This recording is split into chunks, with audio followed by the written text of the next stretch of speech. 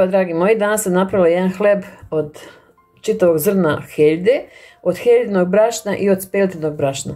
E, na kraju videa ćete vidjeti kako se hleb ovako da, da bude mekana kora, znači pošto on kad se ispeče bude baš tvrda kora, vidjet ćete sami. I sad vidite kako je sad mekana, sad ono baš diše, što, što bi se rekla. Evo ja ću sad da presečem, još je malo vruće, ali nema veze, pošto ja volim vruć da jedem. Ja ću samo malo sad da da vam odsečem, da vidite kako izgleda unutra. Evo ga. Vidite. Vidite vi koliko je to lijepo. Znači, vidite uh, Heldu kako je tu. I odmah da znate u videu ću vam reći Helda se ne kuva, nego vidjet ćete postupak kako se radi. Znači, morate da pogledate video. A vidite ovo kako je mekano. Vidite. Ekstra hleb, jako zdrav. Znači, nema ništa, nema belog brašna, nego baš je, baš je onako... Eto, pa u nastavku videa pogledajte kako sam ja njega napravila. Vidite kako izgleda. I uživajte u videu. Moje danas ću da pravim jedan hleb uh, od celovitog zrna heljde, znači heljdu ćemo staviti i uh, brašno od uh, znači speltino ili pirovo brašno.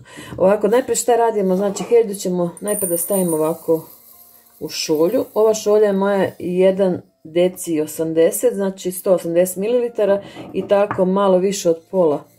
Najprije ćemo dobro da isperemo, znači dobro ćemo da isperemo jednu ovako cedinku i onda ćemo da potopimo nekih sat vremena tako da stoji u potopljenju i stavit ćemo samo malo soli. Idem sad da isperem pa ću vam pokazati.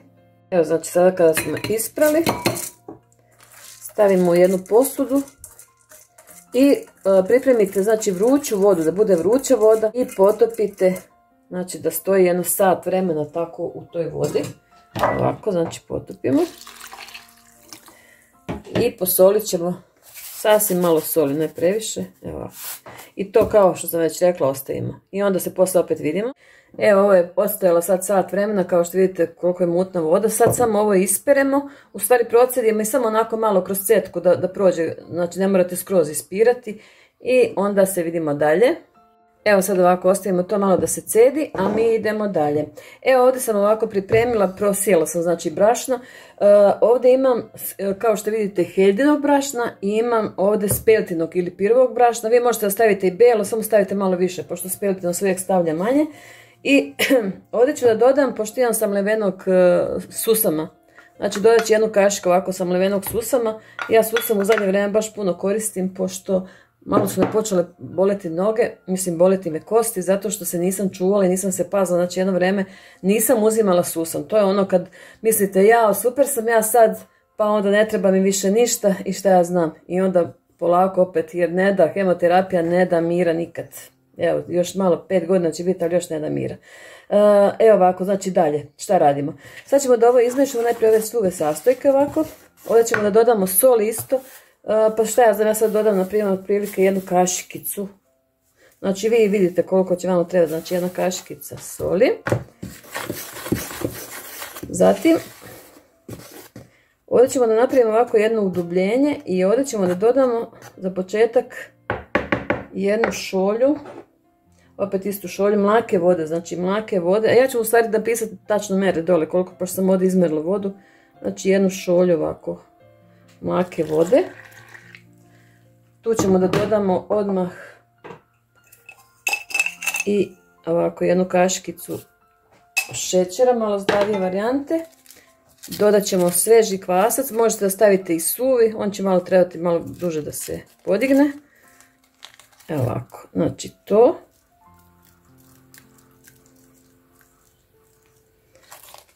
I ostavimo sad malo da se podigne taj kvasac, da onako da počne da radi i onda ćemo da nastavimo dalje. I evo kvasaca kad se podigo, znači nastavljamo dalje. Baš je lepo onako. I sad stavit ćemo samo još malko vode mlake. I mešamo dalje. Najprije ovako. I onda ćemo sada da dodamo znači ovu heldu koja je dobro, dobro isceđena.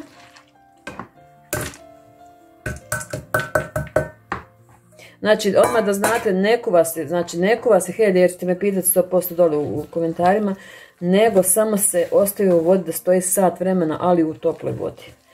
Sada ćemo sve ovo dobro da izmešamo i da ne zaboravim, znači ovo što je najvažnije, zbog čega ovaj hleb ne bi bio lep, a to je maslinovo ulje. Ja ću vam sad reći koliko kašika će da staje. Ovako jedna kašika, dve, tri, četiri, pet. Eto tako, pet znači kašika supenih maslinovog ulja. Da znate. E, sada ćemo to da izmešamo sve onako kako treba.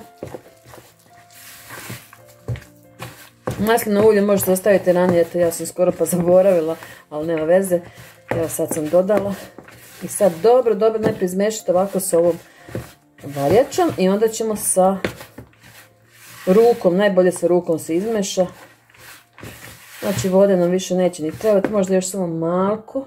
I kao što sam rekla, ja ću vam napisati tačne mere dole koliko sam ja ovdje stavila. I sad ne moram da dužim video dok ja ovo izmešam. Znači poslije ovako kad se malo izmeša sa kašikom, sa rukom mešate i to je to.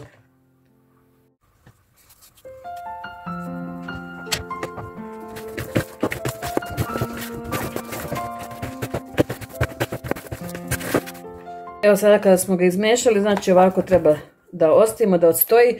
Najprije ćemo da ostavimo da odstoji neki 30 minuta na sobnoj temperaturi. 30 do 40 minuta i onda ćemo ga još jednom da ga preradimo i onda ćemo još da ga ostavimo tako otprilike 20 do 30 minuta. Tako je bude najbolje, znači morate da pazite da vam onako, pošto ovaj hleb nije kao običan hleb, znači sa tim žitaricama i to, znači drugačije se malo pravi i drugačije sve ide. Znači sada ga poklopimo i ostavimo. Evo sada kada se prvi put malo podiglo, znači samo ga premjesimo, stavit ćemo samo malo brašna još okolo ovako. I znači samo ovako. I onda ga ostavite još jedno, znači od 20 do 30 minuta. Tada će biti najlepši. Evo ovako, samo znači ga, kako bi rekao, ono, preklopite ga skroz, spojite ovdje i ostavite ovako. Znači još 20 do 30 minuta. Eto. Možete ga ovako malo sa uljem maslinovim, samo dozgo malo ovako. Tako da, znači samo stavite malo na ruku, ne, ne preko njega. Evo sada kada se podigao i drugi put, znači sad samo ga prebacimo u pleh jedan. Vidite dobro i stavite ga u jedan pleh u koji sam ja već stavila tek papir. I uzmete samo ovako ga malo raširite tako da bude tanji. I sad opet ostavite jedno desetak minuta ovako neka stoji na ovome i onda stavite u rernu na 180 stepeni, ja ću vam onda reći koliko tačno se peče. Od ozgo vi još možete staviti ako želite susam ili nešto, a ja neću pošto sam već stavila unutra. I sada nakon 10 minuta možemo da stavimo da se peče. I evo ga dragi moji, nakon 45, u stvari 50 minuta je bilo e, kako sam ga pekla na 180 stepeni. Sad vidite hleb je ovako malo tvrda korica. I sad šta treba da uradite, ja sam to ja mislim u jednom videu već pokazala, znači ovako stavite jednu krpu, zatim stavite jedan najlon i tako držite ovako najlon i onda još jedan onako malo teža krpa od ozgo i držite tako par minuta, recimo do 5-10 minuta, ajde i onda ćete vidjeti koliko će omekšati ta kora. I onda ću vam se ja na početku videa javiti kao i uvek e, znači da onako da, vidite presjeh hleba kako ću ga seći i to sve. Eto toliko za ovaj video i za ovaj put. Nadam se da vam se dopalo i da ćete uživati da ćete vi probati da napravite. Eto pa ja vas pozdravljam. Želim vam svu sreću zdravlje i sve najviše pozitive u životu i eto, puno vas ljubim i pozdravljam vaša Rajka Radolina. Ćao, čao, čao. Evo, sad ću vam samo pokazati nakon 10 minuta kako izgleda hleb. Znači, evo pogledajte, sad više nije tvrd, sad je skroz mekan. To je jedan isto savjet, eto kako da, da hleb bude lep i mekan. Eto, to je to.